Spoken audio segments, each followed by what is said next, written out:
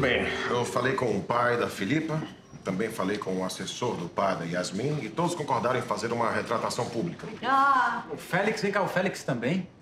é, o Félix saiu daqui com a cabeça muito quente, mas hoje à noite, com certeza, nós vamos ter uma conversa. É, mas eu estou segura de que a imprensa vai fazer questão de entrevistar o Félix. É, e, além de dono da escola, ele é pai de uma das alunas envolvidas no escândalo.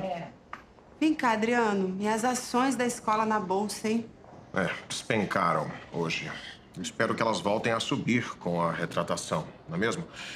O problema é que eu não tenho ideia de quanto tempo levará até nós recuperarmos o prejuízo.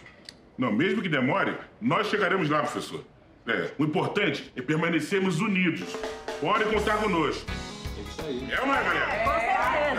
Com certeza. Muito obrigado, muito obrigado, amigos, colegas. Vocês são demais. Eu não sei o que seria do múltipla escolha sem vocês. Múltipla escolha Ernesto Ribeiro, por favor. Alunos do Múltipla Escolha Ernesto Ribeiro. Eu, Andréas Campadelli, presidente da Chapa Quente, consegui, após deliberação com a diretoria da escola, que fosse instituído um tempo livre por dia para todos os alunos. Tempo livre, tempo livre. Por que, que eu vou querer um tempo livre? Ô, Andréas, pra que, que serve esse tempo livre? Para que cada aluno use como quiser. Para ler, para estudar, para não fazer nada. Cada um de vocês vai poder utilizar o tempo da maneira que achar melhor. Para pensar, para criar.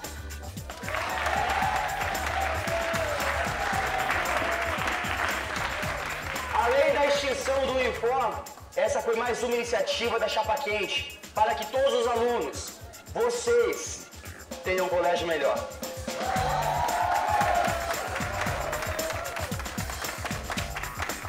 E aí, Domingos?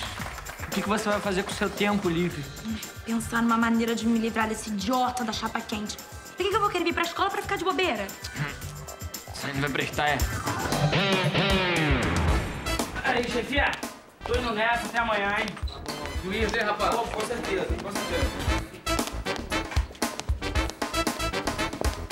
Fala, maninho. Paulão? Eu tô gostando de ver.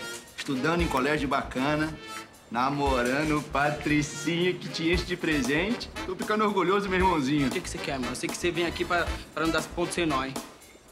Tô precisando de mais um dinheiro aí. Não, pô, sabe como é que é?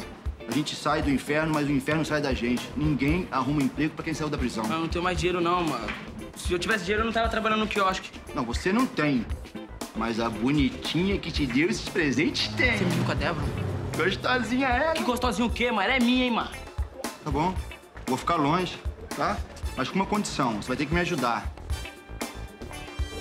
Vamos arrumar um dinheiro em cima desses seus amigos riquinhos. Né? Mãe. Eu tava pensando naquela história de prestar uma homenagem pro meu pai. Eu acho que é legal, mas, mas vamos esperar só mais um pouquinho. A gente nem tem certeza se ele morreu. Filho.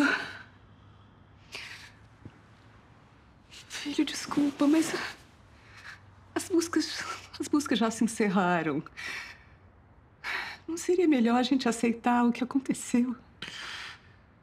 Não, acho melhor não. Eu só vou aceitar que meu pai morreu quando o corpo dele aparecer.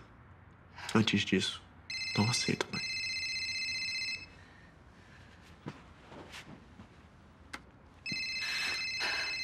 O advogado. Alô, Moacir? Alguma novidade? O quê? O que houve, mãe? Eu, eu, eu, eu, ligo, em- eu ligo em seguida pra você.